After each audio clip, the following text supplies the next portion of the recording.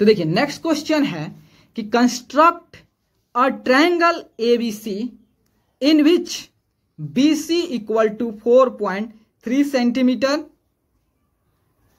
angle B equal to forty five degree and C equal to six centimetre तो question क्या कर रहा है? क्वेश्चन कर रहा है कि भैया, आपको एक ट्रायंगल कंस्ट्रक्ट करनी है जिसमें बीसी साइड की लेंथ 4.3 सेंटीमीटर होना चाहिए और जो बी जो पॉइंट है, जो वर्टेक्स है, वहाँ पे सिर्फ़ 45 डिग्री एंगल होनी चाहिए और ए सी का लेंथ 6 सेंटीमीटर होना चाहिए। चलिए, इसको हम कंस्ट्रक्ट करते हैं। तो सबसे पहले पेपर ले लेते हैं।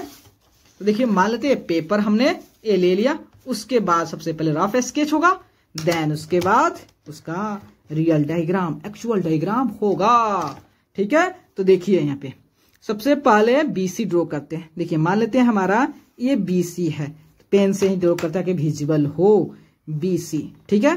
बी और सी ठीक है, हो गया? ये 4.3 सेंटीमीटर अब सी को एज यहाँ पे 45 मान लेते हैं 45 हो गया। ठीक है? आपको एक्चुअल कंस्ट्रक्ट कर दिखाएँगे जी, क्यों आप हड़बड़ा जाते हैं। ठीक है? तो यहाँ पे सी हो गया। तो ए जो होता है, कहीं इसी पॉइंट होगा। मान लेते हैं यहाँ पे ए है। कोई दिक्कत नहीं है। यहाँ पे मान लेते हैं ए है, ठीक है? ये हमारा ए हो गया। तो ए सी ए सी कितना हो गया? सिक्स सेंटीमीटर और यहाँ से ज्वाइन कर देंगे, ठीक है?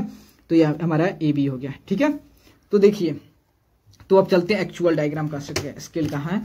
तो देखिए जी भैया, देखिए, सबसे पहले कितना है? फोर पॉइंट थ्री तो हम क्या करेंगे? यहाँ पे four point three construct draw करेंगे four point three four point three ठीक है? तो देखिए फोर पॉइंट थ्री हो गया। तो यहाँ देखिए ये हमारा बी सी हो गया। ये कितना हो गया? फोर पॉइंट थ्री सेंटीमीटर कोई दिक्कत यहाँ तक? नहीं हुए, नहीं है। ठीक है?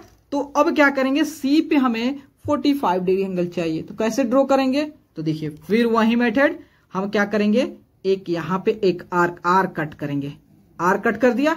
अब क्या करेंगे? जो ये आर्क जो है बीसी को बीसी लाइन को जहाँ पे इंटरसेक्ट किया है मतलब कट किया है, उसको अब सेंटर लेके एक आर कट करेंगे।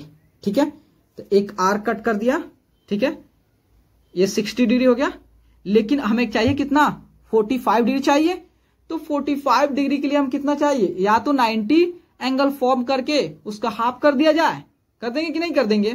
तो वहीं चलते हैं। देखिए, इसको और थोड़ा बड़ा सा कंस्ट्रक्ट करते हैं। ठीक है? तो देखिए, सबसे पहले इसको यहाँ पे हो गया। तो देखिए यहाँ पे।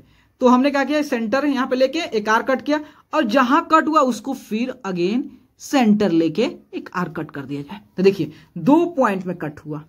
कट हुआ यहाँ पे यहाँ पे। देखिए, यहाँ यह पॉइंट और यह पॉइंट को मिलाएँगे तो 60 डिग्री अगर इस पॉइंट को मिलाएँगे तो 60 डिग्री सॉरी 120 हो जाएगा ये टोटल एंगल लेकिन हमें ना 60 ना 120 हमें ड्रॉ करनी है 45 उससे पहले 90 देखिए, ये 60 हो गया और यहाँ तक 120 लेकिन अगर हम इस 60 ये 60 को हाफ़ कर देंगे मतलब 30 हो गया तो 60 प्लस 30 कितना हो गया? 90 तो उसके लिए चलते हैं कंस्ट्रक्ट करते हैं। तो सेम हम यहाँ पे क्या करेंगे? एक आर्क ऊपर कट करेंगे और यहाँ पे भी एक आर कट करेंगे, ठीक है? तो आर कट किया। तो यहाँ पे ये मिल गया पॉइंट मिल गया, ये 90 डिग्री का। तो चलते हैं, एक लाइन ड्रॉ कर लेते हैं, ठीक है? ठीक है? मान लेते एक रफ के लिए कंस्ट्रक्ट कर लेते हैं। क्या दिक्कत है जी? ठीक है? ओके कंस्ट्रक्ट हो गया। अब देखिए, यहाँ पे पॉइंट कट हुआ, यहाँ पे कट हुआ। है अब क्या करना है? हमें जो है, इसको बाइसेक्ट करना है, ठीक है? तो हमें बाइसेक्ट करने के लिए क्या करेंगे? तो देखिए, अब इस एंगल जो है, ये एंगल को बाइसेक्ट करना है। ये टोटल 90 डिग्री है। ये 90 डिग्री को बाइसेक्ट करना है मतलब हाफ़ करना है। तो उसके लिए क्या करेंगे?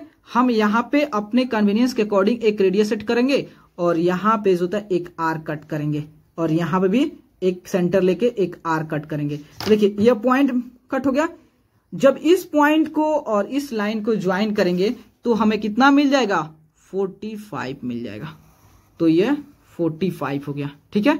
45 हो गया। तो ये एंगल जो है, ये एंगल जो है, कितना हो गया? 45 डिग्री हो गया। 45 डिग्री हो गया। ठीक है? तो अब हम क्या करेंगे? ये जो हमारा यहाँ पे ए होगा इस, इसी लाइन पे। तो इसके लिए हम कितना? सिक्स सेंटीमीटर तो यहाँ से हम क्या करेंगे? सिक्स तो देखिए सिक्स कहाँ पे है? इसमें तो दिख तो नहीं रहा है जी सिक्स हाँ यहाँ पे। ठीक है ठीक है ठीक है। सिक्स सिक्स ठीक है ठीक है ठीक है ठीक है ठीक है। तो देखो सी यहाँ पे आ गया। ठीक है सी अब हमारा ये मिल गया कौन सा? ए पॉइंट मिल गया और ये हमारा बी मिल गया। तो इसको ज्वाइन कर देते हैं। दोनों को ज्वाइन करेंगे तो हमारा यहाँ पर ट्रायंगल कंस्ट्रक्ट हो गया। ठीक है? तो ये 45 डिग्री हो गया और ये 6 सेंटीमीटर हो गया। तो इसको मेजर कर लेंगे। कितना हो गया? इसको भी मेजर कर लेते हैं। क्या दिक्कत है? ये आपका ऑलमोस्ट कितना है? फोर पॉइंट थ्री है या फोर है जी? थ्री ही है। तो ये फोर पॉइंट थ्री ही है। ठीक है?